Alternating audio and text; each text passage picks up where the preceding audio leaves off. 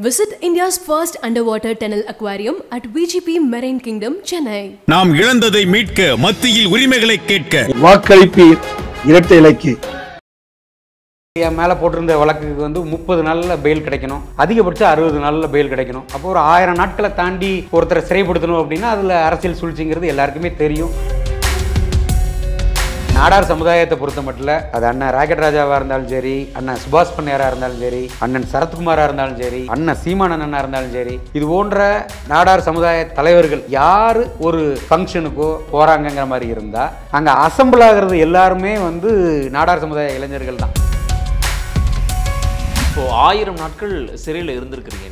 நீங்க இப்போ மக்கள் போராட்டத்துல கலந்துக்கிட்டு மக்களுக்காக சிறை போனீங்க அப்படின்னாக்க சிறைவாசம் அனுபவங்கள் எப்படி இருந்துச்சு அப்படின்னு நான் கேள்வி முன்வைக்கலாம். பட் போன கேஸ் வேற.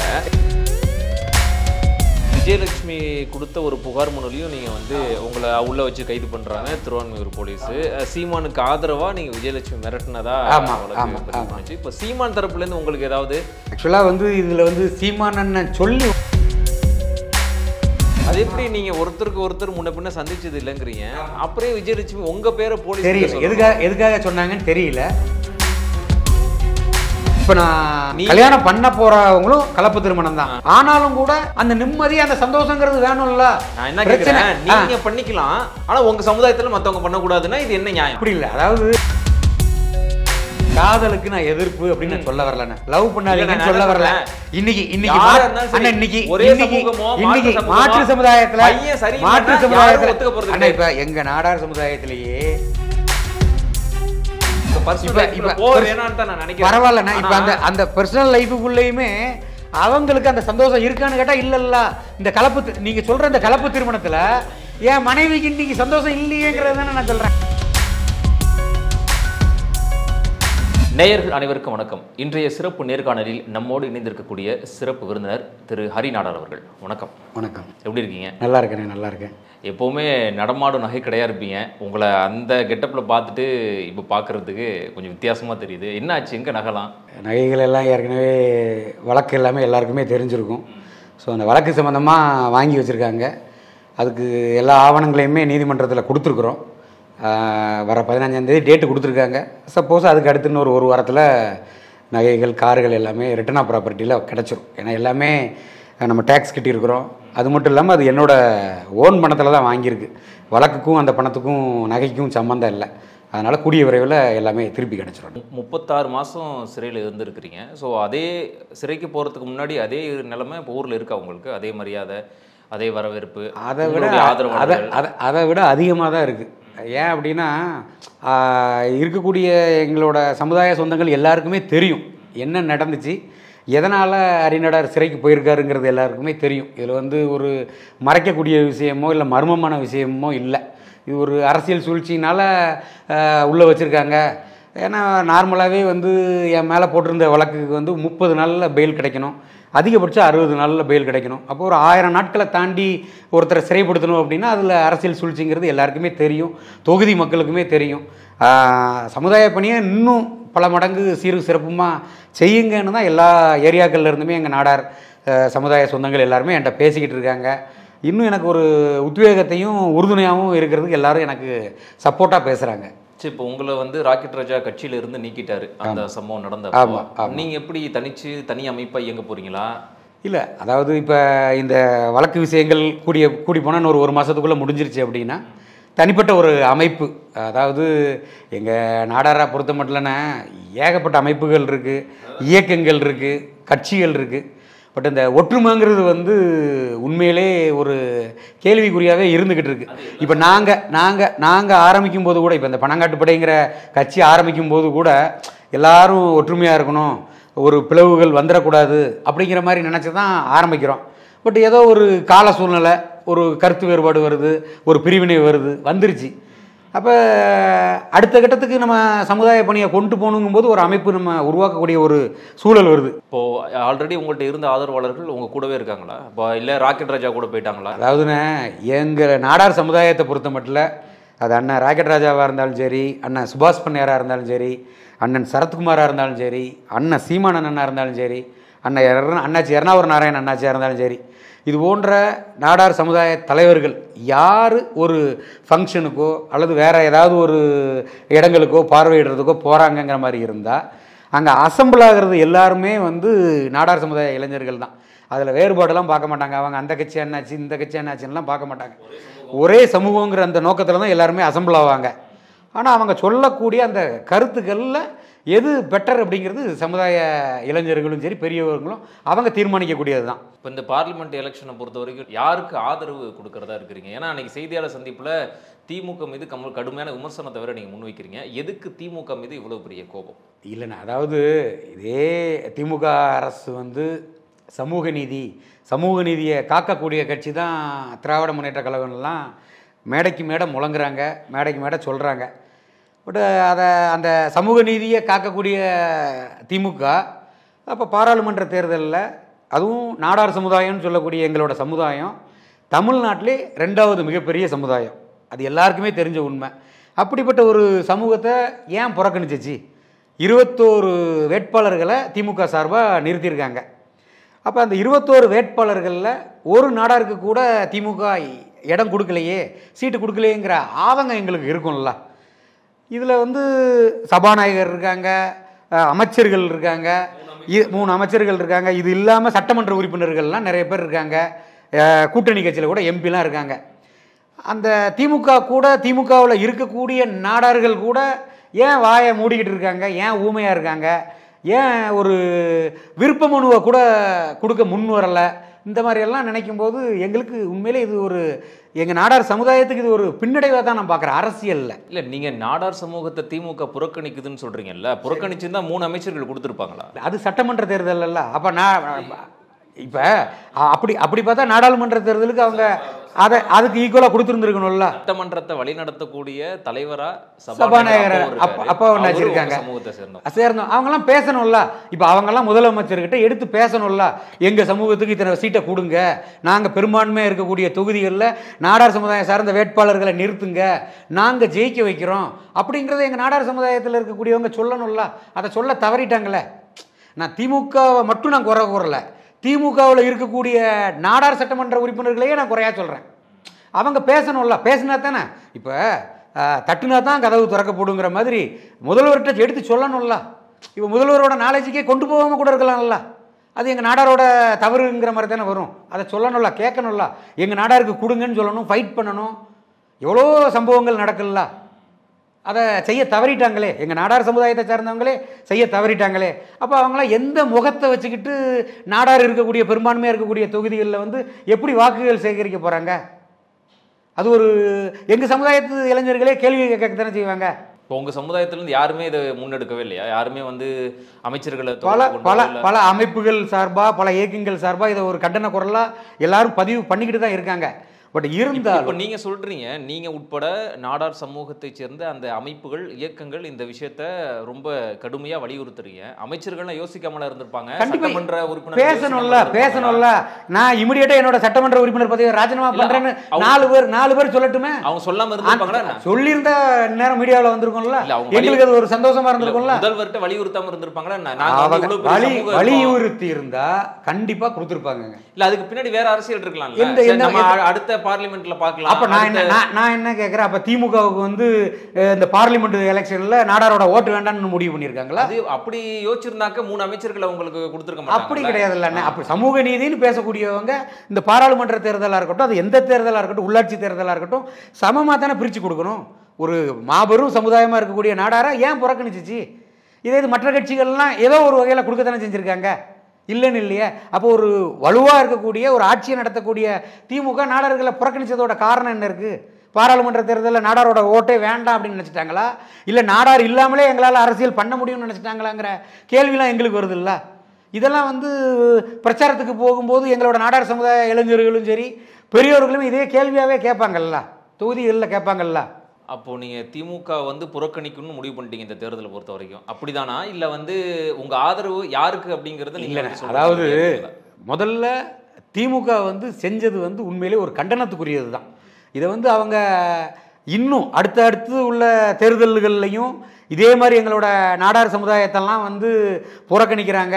அல்லது எங்களுக்கு தகுந்த ஒரு அந்த அதாவது திமுகவில் இருக்கக்கூடிய நாடார் பிரதிநிதிகளுக்கு உரிய அங்கீகாரத்தை கொடுக்கலனால் கூட எங்கள் சமுதாயம் சார்ந்து இருக்கக்கூடியவங்க எங்கள் சமுதாயத்துக்கு ஓட்டு வாக்குன்னு வரும்போது அதுக்கு அவங்களுக்கு சரியான பாடத்தை கண்டிப்பாக புகட்டுவாங்க. அது அவங்களுக்குமே தெரியும். இன்னைக்கு நாடார் பெரும்பான்மையாக இருக்கக்கூடிய தொகுதியில் வேற ஒரு கேண்டிடேட்டை இதே திமுக நிறுத்தும் போது அந்த திமுக கேண்டிடேட்டுக்கு நாடார் பெரும்பான்மையாக இருக்கக்கூடியவங்க ஓட்டு போட மாட்டாங்கல்ல? வேறு கட்சியில் இருக்கக்கூடிய நாடார் யார் இருக்காங்களோ அவங்களுக்கு தானே ஓட்டு போடணும்னு நினைப்பாங்க. இப்போ வேற கட்சியில் நாடாரை கொடுத்துருப்பாங்க. அப்போ அவங்களுக்கு தானே ஓட்டு போடணும்னு நினைப்பாங்க. இது ப்ராக்டிக்கலாக உள்ளது தானே. அப்ப இந்த தேர்தலை பொறுத்த வரைக்கும் ஹரிநாடாரும் அவருடைய ஆதரவாளர்களும் யாருக்கு ஆதரவு கொடுக்கறதா முடிவு பண்ணியிருக்கிறீங்க? இல்லைண்ணா அதாவது இப்போ திமுகவில் நாடார் கேண்டிடேட் இல்லை. இதே நேரத்தில் பாஜகவாக இருக்கட்டும் காங்கிரஸாக இருக்கட்டும் அதிமுகவிலலாம் வந்து நாடார் கேண்டிடேட்டை நிறுத்தியிருக்காங்க. அதில் சில இடங்களில் வந்து ரெண்டு கட்சி மூணு கட்சியுமே நாடார் கேண்டிடேட்டை நிறுத்தியிருக்கக்கூடிய தொகுதிகள்லாம் இருக்குது அப்போ அப்படி இருக்கும்போது அதில் சமூக சமூக அக்கறையோடு சேர்ந்து சமுதாய உணர்வு இருக்கணும்.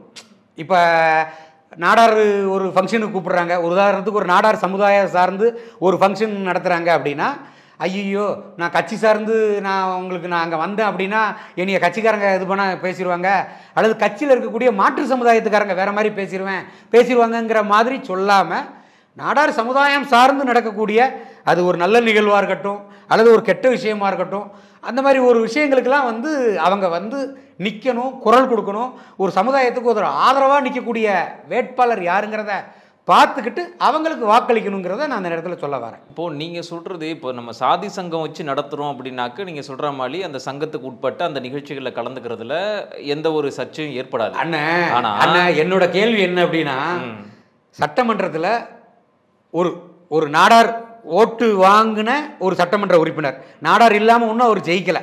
நாடாரோட ஓட்டுகளை பெரும்பான்மையாக வாங்கின சட்டமன்ற உறுப்பினர் தான் அவருக்கு அந்த எம்எல்ஏங்கிற அந்தஸ்தை கொடுத்துருக்கு. அந்த உறுப்பினர் அந்த சட்டமன்ற அவைக்குள்ள நாடார் சமுதாயம் சார்ந்து உள்ள ஒரு பிரச்சனையை பேசுறதுக்கு முதல்வர் ஏன் மறுப்பு தெரிவிக்க போகிறாரா அதை ஏன் பேச எங்கள் சமுதாயத்தை சார்ந்த சட்டமன்ற உறுப்பினர்களே தயங்குறாங்களேங்கிறது தான் எங்களோட மனவேதனை. நான் வந்து மாண்புமிகு முதல்வரை டைரக்டாக நான் குறை சொல்லணுங்கிறதுக்கு நான் சொல்ல வரல. எங்கள் சமுதாயத்தை சார்ந்த சட்டமன்ற உறுப்பினர்களே பேச ஏன் தயங்குறாங்க? சரி அவங்க பேசுனதுக்கு அப்புறம் முதல்வர் வந்து ஒரு கடிந்துக்கிட்டாரு ஒரு கோவப்பட்டார் அல்லது அந்த மாதிரி பேசக்கூடாதுன்னு சொல்லிட்டா கூட அது வேற.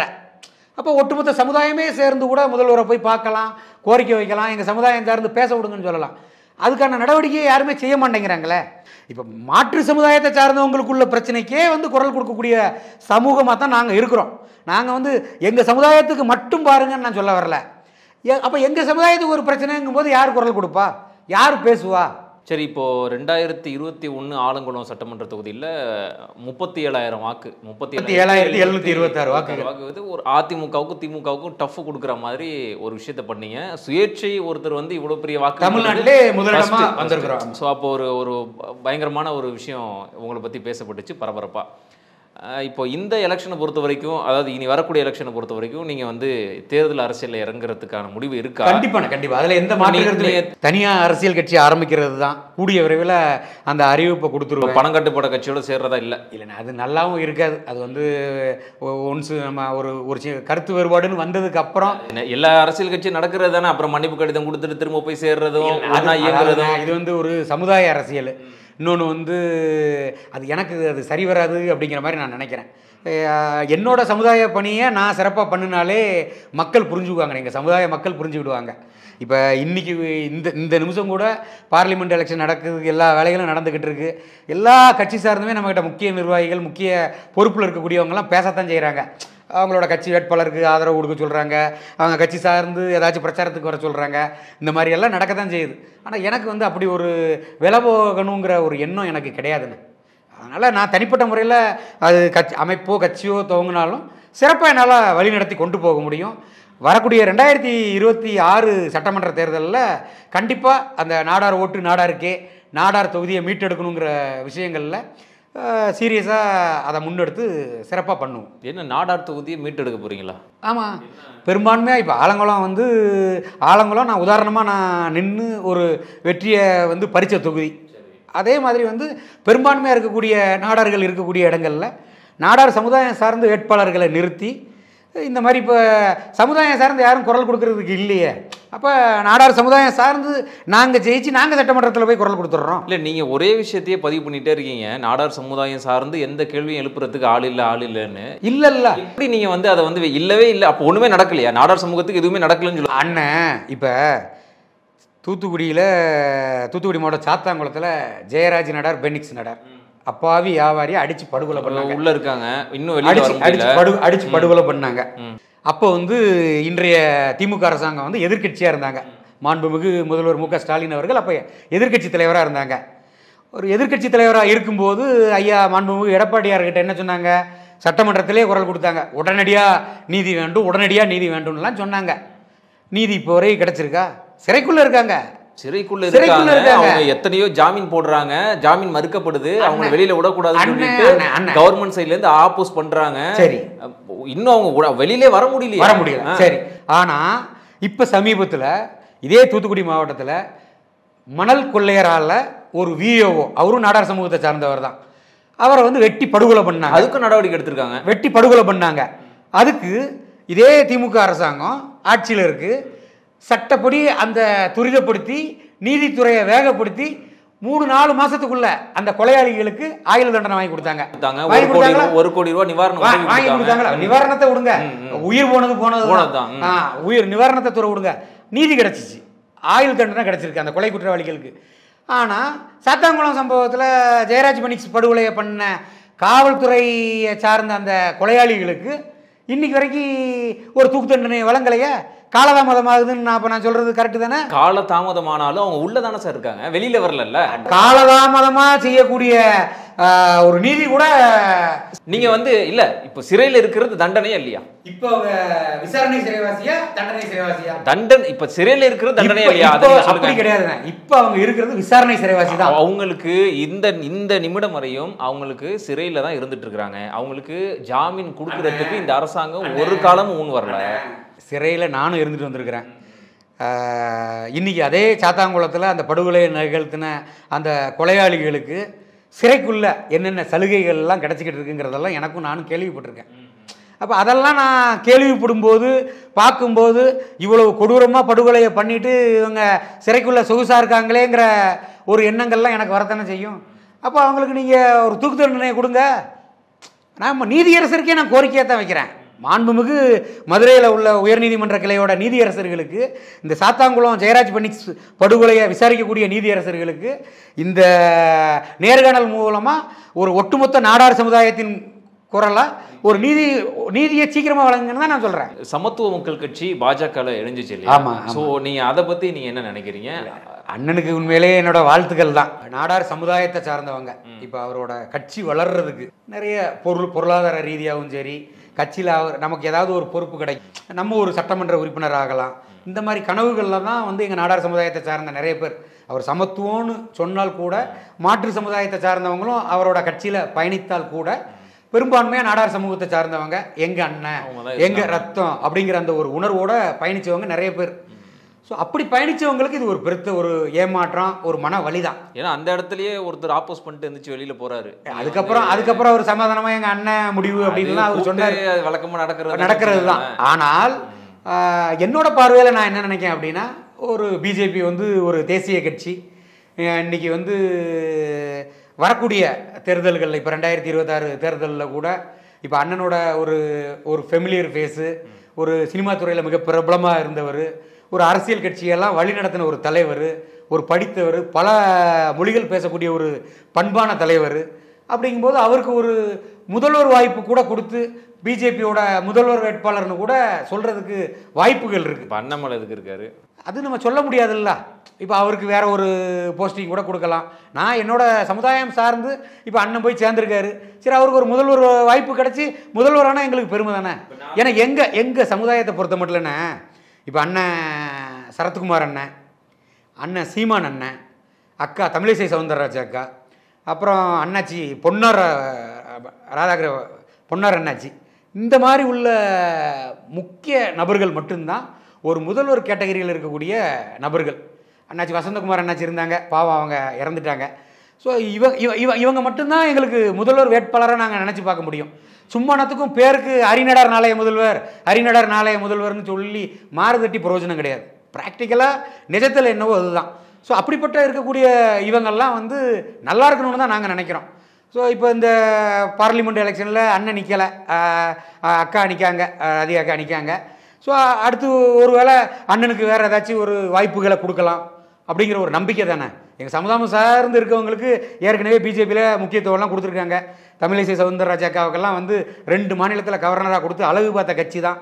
இன்னைக்கு கூட பிஜேபியில் வந்து ஒரு மூன்று பேரை பிஜேபி சார்பாக கேண்டிடேட்டாக நிறுத்தியிருக்காங்க பார்லிமெண்ட் எலெக்ஷனுக்கு அவங்க கூட்டணி கட்சியில் ஒரு ரெண்டு சீட்டு கொடுத்துருக்காங்க. அதெல்லாம் பெருமைக்குரிய விஷயங்கள் தான். இப்போ ஆயிரம் நாட்கள் சிறையில் இருந்திருக்கிறீங்க நீங்க. இப்போ மக்கள் போராட்டத்துல கலந்துக்கிட்டு மக்களுக்காக சிறை போனீங்க அப்படின்னாக்க சிறைவாசம் அனுபவங்கள் எப்படி இருந்துச்சு அப்படின்னு நான் கேள்வி முன்வைக்கலாம். பட் போன கேஸ் வேற. இப்போ இந்த சிறைக்கு முன் இருந்த ஹரிநாடார் ஆயிரம் நாட்கள் சிறையில் இருந்துட்டு வெளியில வந்த ஹரிநாடார். என்ன வித்தியாசம் பார்க்குறீங்க நிறைய பாடம் படிச்சிருக்கேனே. அதாவது இதுக்கு முன்னாடி அக்கா எம்பி சசிகலா புஷ்பாக்காவோட கூட அவங்களுக்கு ஆதரவாக செயல்பட்டேங்கிறதுனால அம்மையார் ஜெயலலிதா பீரியடில் ஒரு குண்டாஸ் போட்டிருந்தாங்க. அப்போ பாளையங்கோட்டையில் ஒரு ஆறு மாதம் இருந்தேன். அது ஒரு வேறு மாதிரி ஒரு அனுபவத்தை கொடுத்துச்சு. இப்போ இந்த சிறை வாழ்க்கை வந்து நிறைய பாடத்தை கொடுத்துருக்கு. அதாவது நம்ம யார் கூடலாம் நம்ம பழகியிருக்கிறோம். நம்ம கூட பழகுனவங்க நம்மக்கிட்ட எத்தனை பேர் நம்மக்கிட்ட உண்மையாக பழகியிருக்காங்க. நம்மக்கிட்ட நம்மளோட பொருளாதாரத்தை பார்த்து பணத்தை பார்த்து பணத்துக்காக பழகுனவங்கலாம் யாரெல்லாம்? போலியான உறவுகள் எப்படி? நம்மகிட்ட பணம் இல்லாத அதாவது சிறைக்குள்ளே போயிட்டோம் அப்படின்னாலே வந்து பணம் என்னோடய அக்கௌண்ட் அக்கௌண்ட் எல்லாமே ஃப்ரீஸ் பண்ணிடுறாங்க. நகைகள் ஃப்ரீஸ் பண்ணிடுறாங்க. இந்த மாதிரி விஷயங்கள்லாம் பண்ணதுக்கப்புறம் பொருளாதாரத்தை முடக்கிடுறாங்க. அப்போ சிறைக்குள்ளே போனதுக்கப்புறம் பணம் இல்லாத ஒரு அரிநடர் தான். அப்போ அந்த பணம் இல்லாத அரிநடருக்கு உதவுறதுக்கு யார் இருக்கா? உதவுனது யாரெல்லாம்? இந்த மாதிரி விஷயங்களெல்லாம் நம்ம சிறைக்குள்ளே இருந்து பார்க்கும்போது அதுவெல்லாம் ஒரு மிகப்பெரிய ஒரு அனுபவ பாடமாக நான் எடுத்திருக்கிறேன். சிறைக்குள்ளே இருக்கக்கூடிய நிறைய சிறைவாசிகள் அவங்களோட கதைகள் அவங்களோட வாழ்க்கையில் நடந்த விஷயங்கள் அவங்களோட வழக்கு சம்மந்தமாக உள்ள விஷயங்கள் ஒவ்வொரு விஷயங்களெல்லாம் வந்து நம்ம கேள்விப்படும்போது இப்படியெல்லாம் இருப்பாங்களா அப்படிங்கிற நிறைய விஷயங்களை படிச்சிருக்கிறேன். நீங்கள் சொன்னீங்க இல்லையா? சிறையில் இருக்கும்போது தான் நல்லவங்க யார் கெட்டவங்க யார் துரோகி யார் நண்பன் யார் அப்படிங்கிறதெல்லாம் எனக்கு தெரிஞ்சிச்சு அப்படிங்கிற ஒரு விஷயத்தை பதிவு பண்ணியிருந்தீங்க. இப்போ சிறையில் உங்களை பார்க்க வந்தவங்க உங்களுடைய ஆதரவாளர்கள் நீங்கள் யாரெல்லாம் நம்புனீங்களோ வெளியில் இருக்கும்போது எந்த சமுதாயத்துக்காக குரல் கொடுத்தீங்களோ எந்த சமுதாயத்துக்காக பிரச்சனைக்கு போய் முன்னாடி நின்னீங்களோ அந்த சமுதாயத்தை சேர்ந்தவங்களாம் உங்களுக்கு ஹெல்ப் வந்தாங்க வந்தாங்க. வந்தாங்க. என்னோட கேஸ் வழக்க பொறுத்த மட்டும் முழுக்க முழுக்க பார்த்தது வந்து என்னோட மனைவி மஞ்சு அவங்க தான். முழுக்க முழுக்க நான் பிடிபட்ட நாள்ல இருந்து நான் சிறையிலிருந்து வெளிவர நாள் வரைக்கும் எனக்கு முழு பாதுகாப்பாக எனக்கு வேண்டிய எல்லா உதவியும் சட்ட உதவியாக இருந்தாலும் சரி எனக்கு உள்ள தேவையான பொருட்கள் என்னென்ன வேணுமோ மருந்து மாத்திரைகளாக இருந்தாலும் துணிகளாக இருந்தாலும் சரி வேணுங்கிறது எல்லாமே செஞ்சாங்க. மற்றபடி எங்கள் சமுதாயத்தில் இருக்கக்கூடிய சமுதாய பிரமுகர்கள்லாம் என்கிட்ட தொடர்பில் தான் இருந்தாங்க. அது இல்லாமல் நேரிலையும் பார்க்க வந்திருக்காங்க உறவினர்கள்லாம் வந்திருக்காங்க. இல்லைன்னுலாம் சொல்லலை. ஆனால் இப்போ நான் இப்போ என்னை சார்ந்து இப்போ நான் வந்து ஒருத்தருக்கு உதவி செஞ்சுருக்கலாம் ஒருத்தருக்கு பொருளாதார ரீதியில் அவங்களுக்கு ஹெல்ப் பண்ணியிருக்கலாம் ஏன் கூட தொழில் பண்ணியிருக்கலாம் அப்போ என்னை சார்ந்து இருந்த அவர்கள் யாரும் எனக்கு சப்போர்ட் பண்ணலைங்கிற வருத்தம் அவங்க எனக்கு இருக்குண்ணே இப்போ நீங்க சசிகலா புஷ்பா விஷயத்துல வந்து அக்காவுக்கு அம்மையார் சாதகமா ஜெயலலிதா செயல்படு. இருக்கும்போது நீங்க வந்து ஜெயிலுக்கு போயிருந்தீங்க. ஆறு மாசம் உங்களை புழல்ல அடைச்சிருந்தாங்க. பாளையங்கோட்டை பாளையங்கோட்டை ஜெயிலில் அடைச்சிருந்தாங்க. ஸோ இப்போ இந்த பெங்களூர் பரப்ப பரப்பர அக்ரஹார அரசியல் இருக்கும்போது அவங்க சைட்ல இருந்து உங்களுக்கு ஏதாவது ஹெல்ப் வந்துச்சா? ஏன்னா ஏற்கனவே நமக்கு வந்து ஆக்சுவலாக எம்பி நம்ம முன்னாள் எம்பி அக்கா சசிகலா புஷ்பா அக்கா நம்ம சமூக எங்கள் சமுதாய சொந்தங்கள்ட்ட எல்லாம் சொல்லி விட்றாங்க வேறு ஏதாச்சும் உதவினா சொல்லுங்கள் சுப்ரீம் கோர்ட்டில் ஆல்ரெடி அவங்களோட கணவர் வந்து சுப்ரீம் கோர்ட்டில் ஜட்ஜாக தான் ஜட்ஜ் ஏற்கனவே ஜட்ஜாக இருந்து இப்போ ப்ராக்டிஸ் பண்ணிக்கிட்டு இருக்காங்க. அங்கே ஐ நீதி அட்வொகேட்டாக தான் இருக்காங்க. ஸோ அவங்க மூலிமா ஹெல்ப் பண்ணுறலாம் நமக்கு சொல்லத்தான் செஞ்சாங்க. அவங்ககிட்டயுமே என்னோட மனைவிலாம் பேசினாங்க. என்ன செய்யலாங்கிற மாதிரி கேட்டவங்க. பட் நம்ம டெல்லி வரைக்கும் போகலை. இங்கே நமக்கு பெயில் மூவ் பண்ணதுனால அவங்களோட உதவிகள் தேவைப்படலை. அதே மாதிரி இப்போ விஜயலட்சுமி கொடுத்த ஒரு புகார் மனுலையும் நீங்க வந்து உங்களை உள்ள வச்சு கைது பண்றாங்க திருவான்மையூர் போலீஸ். சீமானுக்கு ஆதரவா நீங்க விஜயலட்சுமி மிரட்டினதா. பண்ணுச்சு. இப்போ சீமான் தரப்புல இருந்து உங்களுக்கு ஏதாவது உதவி அப்படிங்கிற மாதிரி யாராவது பேசுனாங்களா? இல்லைண்ணே அதாவதுண்ணே இது பொதுவாகவே இது சமூக வலைதளங்கள்ல வேற மாதிரிலாம் வந்துச்சு நானும் பார்த்தேன். ஆக்சுவலாக வந்து இதில் வந்து சீமான் அண்ணன் சொல்லி ஒன்றும் நான் வந்து அந்த விஜயலட்சுமிங்கிறவங்கள நான் மிரட்டலை. அவங்களோட சீமானனோட அம்மையாரை ஒரு தரக்குறைவாக சோஷியல் மீடியாவில் பேசுகிறாங்க அதை நம்ம பார்க்குறோம் பார்த்த உடனே அது மனசுக்கு கஷ்டமாக இருந்துச்சு. ஒரு தாயாராக ஒரு பெண்ணாக இருந்து நீங்கள் ஏன் இப்படி பேசுகிறீங்கிற ஒரு விஷயத்தை தான் நம்ம சொன்னோம். அவங்களும் உடனே மறு வீடியோ என்னையும் வேறு மாதிரி அவங்க பேசி போட்டாங்க. அதோட முடிஞ்சு போயிருச்சு. ஆனா வெளியில இப்படிதானே பேசப்பட்டுச்சு. சீமானுக்கு ஆதரவா போய் மிரட்டினாரு. சீமானுக்கு வந்து இல்லை வழக்கே அதாவது போலீஸார் போட்டிருக்கக்கூடிய வழக்கே வந்து அண்ணன் சீமான் அண்ணன் சொல்லி தான் நான் செஞ்சேன் அப்படிங்கிற மாதிரி போட்டிருக்காங்க. பட் அது உண்மை கிடையாது. நான் எனக்கு வந்து ஒருத்தங்க சொல்லி அதை நான் செய்யணும்னு அந்த அளவுக்கு அறிவு இல்லாமல் கிடையாது. பட் நமக்கு அது தோணுச்சு. ஒரு ச- நம்ம சமுதாயத்தை சார்ந்தவர் அவரோட தாயாரை பேசுகிறாங்களேங்கிறதுக்காக தான் நம்ம பேசுகிறோம் இதுக்கு அப்பாற்பட்டு கூட அவங்க யாருன்னு கூட தெரியாது. யார்? நடிகை விஜயலட்சுமியை நான் நேரில் கூட இன்னைக்கு வரைக்கும் பார்த்தது கிடையாது. ஆனால் சமூக வலைதளத்தில் ஒரு சிலர் வந்து நான் என்னமோ அவங்க கூட நான் லிவிங் டுகெதர்லாம் இருந்த மாதிரிலாம் வந்து அண்ணன் டேரக்டர் களஞ்சியம் அண்ணனே கூட ஒரு மீடியாவிலலாம் கொடுத்தாங்க. அது வந்து அப்பட்டமான அவரோட அஹ், அவருக்கா தோணி பேசிட்டாரான்னு தெரியல அல்லது யாராச்சும் தவறான தகவலை சொல்லி பேசிட்டாரான்னு தெரியல. ஏன் களஞ்சி ஏன் உங்களை அப்படி பேசணும்? என்ன அவசியம் இருக்கு? ஏன்னா நான் அந்த விஜயலட்சுமி அவங்க கஷ்டப்படுறாங்கன்னு சொல்லி ஒரு வாட்டி கொஞ்சம் பண உதவி பண்ணினேன். ஒரு ஐம்பதாயிரம் ரூபாயோ? அறுபதாயிரம் ரூபா ஆமாம்? நான் கொடுத்தேன். அதாவது அவங்க கிட்ட நான் நான் தான் அவங்கள நான் திட்டி நான் பேசுகிறேன் அதுக்கடுத்து அவங்க டி நகரில் ஒரு ஹோட்டலில் தங்கியிருக்காங்க. ஹோட்டலில் ஒரு ப்ராப்ளம் ஆயிருது. அவங்க காலி பண்ணுறதுல ஒரு ப்ராப்ளம் ஆகுது. அப்போ லோக்கல் போலீஸ் மாம்பழம் போலீஸ் வந்து வெக்கெட் பண்ணுறதுக்காக கேட்காங்க. நான் டி நகர் ஏரியாங்கிறதுனால அந்த விஜயலட்சுமிங்கிறவங்க என்னோட பேரை சொல்லியிருப்பாங்க போல தெரியுது. அவங்க உடனே எனக்கு போலீஸ் எனக்கு பேசி இந்த மாதிரி அந்த அது மா- எப்படி நீங்க ஒருத்தருக்கு ஒருத்தர் முன்ன பின்ன சந்திச்சது இல்லைங்கிறீங்க? ஆமா. அப்புறம் விஜயலட்சுமி உங்க பேரை போலீஸ் தெரியல. எதுக்காக எதுக்காக சொன்னாங்கன்னு தெரியல. அப்போ எனக்கு அந்த போலீஸ்கார் பேசுகிறாரு இந்த மாதிரி ப்ராப்ளம் என்னாச்சு? கொஞ்சம் சரி பண்ணி விடுங்க ரிசப்ஷன்ல எல்லாம் ப்ராப்ளமாக இருக்குன்னு என்கிட்ட மாம்பழம் போலீஸ் என்கிட்ட சொல்கிறாங்க அப்போ அவங்க கிட்ட கேட்குறேன் விஜயலட்சுமி கிட்ட அப்போ கேட்குறேன் அதாவது எங்கள் தரப்பில் அதாவது அண்ணனோட அம்மாவை தப்பாக பேசிட்டாங்கங்கிறதுக்காக நான் ஆதங்கப்பட்டேன் கோவப்பட்டேன் திட்டி நான் பேசினேன். அதே நேரத்தில் அவங்க ஒரு அவங்க ஒரு பெண்ணா அந்த இடத்துல ஏதோ அவங்க அம்மாவுக்கு உடம்புக்கு முடியாமல் ஆஸ்பத்திரியில இருந்து வந்து ஹோட்டலுக்கு கூட பணம் கொடுக்க முடியலங்கிற ஒரு ஆதங்கத்தை வருத்தத்தை என்கிட்ட சொன்னாங்க. இந்த மாதிரி கஷ்டமாக இருக்குன்னா கொஞ்சம் பணம் கொடுத்தா கொஞ்சம் எப்ப நடந்தது? ஜெயிலுக்கு போறதுக்கு முன்னாடி. எந்த ஜெயிலுக்கு? இந்த ஜெயிலுக்குலாம் முன்னாடி. இதுக்கெல்லாம் முன்னாடி. முன்னாடி, நான் இப்போ. போகிறது ரெண்டாயிரத்தி இருபத்தொன்னுக்குலாம் முன்னாடியே. முன்னாடி. நான் வெளியில் இருக்கும்போது. அப்போ நான் உடனே அவங்க கிட்ட அப்படியா சரி. அப்போ நான் என்ன நினச்சேன்னா ஒரு நல்ல எண்ணத்தில் நான் பார்த்தது கூட கிடையாது. நேரில் கூட பார்த்தது கூட கிடையாது. சரி ஒரு தாயார். அவங்களோட அம்மாவும் ஒரு தாய் தானேங்க. ஒரு உடம்புக்கு முடியாமல் இருக்காங்கங்கிற ஒரு நல்ல எண்ணத்தில் அந்த ஹோட்டல் பில் எவ்வளவோ அதை நான் கட்டி விட்டேன். அப்பவும் கட்டி விடும்போது நான் இன்னொரு ஹோட்டல் தங்குறதுக்கு இடம் இல்லைன்னு சொன்னாங்க. அப்பவும் தங்குறதுக்கு நான் அந்த எனக்கு தெரிஞ்ச ஒரு ஹோட்டலில் சொல்லி விட்டேன். இந்த மாதிரி அப்போவே அந்த ஹோட்டல் ஓனர் கூட சொன்னார். ஆனால் ஏற்கனவே அவங்க உங்களை பற்றிலாம் வீடியோ போட்டிருக்காங்கன்னா நீங்கள் எதுவும் பண்ணாதீங்கன்னு. அப்படி இருந்தும் சரி இல்லைன்னா உடம்புக்கு முடியாமல் இருக்காங்க. ஏதோ ஹாஸ்பிட்டலில் இருந்து நாளைக்கோ நாளைக்கு மறுநாளோ போயிடுவாங்களாம் ஒரு ரெண்டு மூணு நாள் கொடுங்கண்ணே பேமெண்ட் கூட அவங்க தரலைனாலும் அவங்கள தொந்தரவு பண்ண வேண்டாம். நான் கூட தந்துடுறேன் அப்படின்னு சொன்னேன். நான் சொன்னதோட முடிஞ்சு போச்சு. நான் அதுக்கப்புறம் அவங்க கிட்ட கம்யூனிகேஷனும் எதுவுமே இல்லை. பட் அவங்க ரெண்டு மூணு நாள் கழிச்சு காலி பண்ணலை போல. அவங்க கண்டினியூவாகவே இருந்திருக்காங்க. நான் அப்புறம் சிறைக்குள்ளே போனதுக்கு அப்புறமா தான் தெரிஞ்சது அவங்களோட திங்ஸ் எல்லாமே அந்த ஹோட்டல்காரங்களுமே எடுத்து வெளியில் வச்சு உள்ள விஷயங்கள்லாம் நியூஸில் பார்த்தேன்.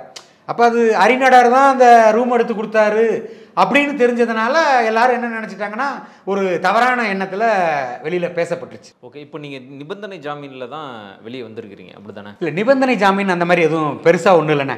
அதாவது இது வந்து ஒரு ஏழைகால் கோடி ரூபா நான் ஒருத்தர்கிட்ட வாங்கியிருக்கிறேன். பணத்தை கடன் வாங்கி கொடுக்கலங்கிறது தான் வழக்கு.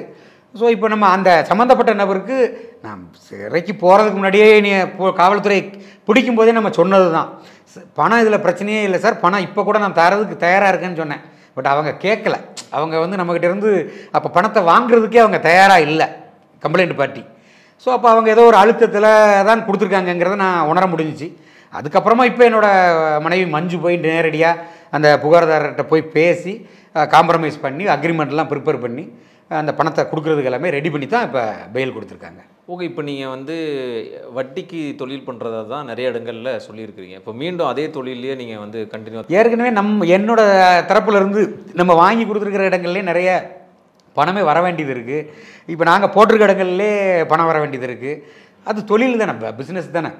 ஒரு ஃபைனான்ஸை பொறுத்த மட்டும் இல்லைண்ணே ஒரு கஷ்டம்னு சொல்லி வாங்க வருவாங்க. ஒரு கட்டத்துக்கு மேலே அவங்களால பணத்தை கட்ட முடியலன்னு வைங்களேன். நாங்களுமே போய் ஒரு ஒரு ஒரு ஒரு லெவல் வரைக்கும் தான் அவங்கக்கிட்ட போக முடியும்.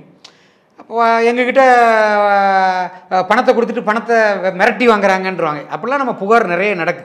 நம்மளே பார்த்துக்கிட்டு தான் இருக்கிறோம். பணத்தை கொடுத்தாலே திருப்பி கேட்க முடியாமல் உள்ள சூழ்நிலைகள் தான் இப்போ நடந்துக்கிட்டு இருக்குது அதனால் நாங்கள் பெரும்பாலும் பணத்தை கொடுக்கும்போது வேல்யூவேஷன் அதிகமாக இருக்கக்கூடிய டாக்குமெண்ட்டை நாங்கள் சூரிட்டியாக வாங்கிடுவோம் இப்போ உதாரணத்துக்கு ஒரு நூறு கோடி அப்படின்னா நாங்கள் ஒரு நூற்றம்பது கோடி இரநூறு கோடிக்குள்ள டாக்குமெண்ட்டாக வாங்கிடுவோம் ஒருவேளை அவங்க கட்ட தவறுறாங்க ஒரு ஆறு மாதம் சரியாக தரல ஒரு வருஷம் சரியாக வரலன்னா நாங்கள் பார்ப்போம். கொஞ்சம் பிஸ்னஸில் எப்படி போகுது டவுன் ஆகிற மாதிரி தெரிஞ்சுச்சு அப்படின்னா கூப்பிட்டு எழுதி வாங்கிடுவோம் டாக்குமெண்ட்டு சேல் டீடே போட்டு பண்ணிக்கிடுவோம். ஸோ எங்களுக்கு அந்த அசட்டு போகாத அளவுக்கு பார்த்துக்கிடுவோம். நாடார் சமூகம்னு இல்லை எல்லா சமூகத்திலையுமே வந்து கலப்பு திருமணங்கள் நடந்துக்கிட்டு தான் இருக்குது பிரச்சனைகள் இல்லாத வரைக்கும் அந்த குடும்ப வாழ்க்கை குடும்ப குடும்ப வாழ்க்கை நல்லா தான் இல்லாத வரைக்கும் உங்களுக்கு அந்த? அந்த பிரச்சனைகள் ஒரு யாரோ ஒருவருடைய ஆதாயத்துக்காக ரெண்டு குடும்பங்களை பலிகடாக்குறாங்க. இல்லண்ணே, அதாவது அது தொடர்ச்சியா நடந்துகிட்டு தான் இருக்கு. எந்த ஒரு நீங்க இல்லன்னு மறுக்கிறீங்களா? அண்ணா, எந்த ஒரு அரசியல்வாதியுமே போயிட்டு ஒரு குடும்ப பிரச்சனை போய் தானா வந்து போய் பிரச்சனையை கொண்டு வரல. சரிங்களா? ஒரு பிரச்சனை வரும்போது உதாரணத்துக்கு இப்ப நாடாறு சமுதாயத்தில் இருக்கக்கூடிய ஒரு குடும்ப பிரச்சனைக்கு. மாற்று சமுதாயத்தை சார்ந்த ஒரு அரசியல் கட்சி தலைவரோ ஜாதி தலைவரோ வந்து பேச முடியாதுங்க பெருமைக்கு பேசிக்கிடலாம்? அண்ணன் பெருமைக்கு பேசிக்கலாம். அண்ணன் பெருமைக்கு பேசிக்கலாம் ரெண்டு பேர் சம்பந்தப்பட்ட பிரச்சனை சரி. அந்த பொண்ணு பையன் சரி. பொண்ணோட குடும்பம் பையனோட குடும்பம் சரி ஏன் தேவையில்லாம சாதி சங்கங்கள் உள்ள வருது கரெக்ட் அந்த பையன் ஏன் சொந்தக்காரன்? முடிச்சுக்கிறாங்க. அந்த பையன் ஏன் சொந்தக்காரன் இல்ல ஏன் ரத்தம் இல்ல ஏன் உறவுக்காரன் இல்ல அந்த பையன் நல்லா வாழணும்னு நினைக்கிறீங்களா? நாசமா போகணும்னு நினைக்கிறீங்க நல்லா வாழுதுக்கு தானே போய் பேச போறோம். பேச போற இடத்துல தானே பிரச்சனையே வருது. நான் என்ன சொல்றேன்? குடும்ப- அப்போ அப்போ பிரச்சனை. அந்த பையனோ பொண்ணோ பையனோட குடும்பமோ பொண்ணோட குடும்பமோ இல்ல. இவங்க சார்பா வரக்கூடிய ஆட்களும் பொண்ணு சார்பா வரக்கூடிய ஆட்களும் தான் பிரச்சனை. கரெக்டா Visit India's first underwater tunnel aquarium at VGP Marine Kingdom, Chennai. நாம் இழந்ததை மீட்க மத்தியில் உரிமைகளை கேட்க வாக்களிப்பீர். இரட்டை இலைக்கு.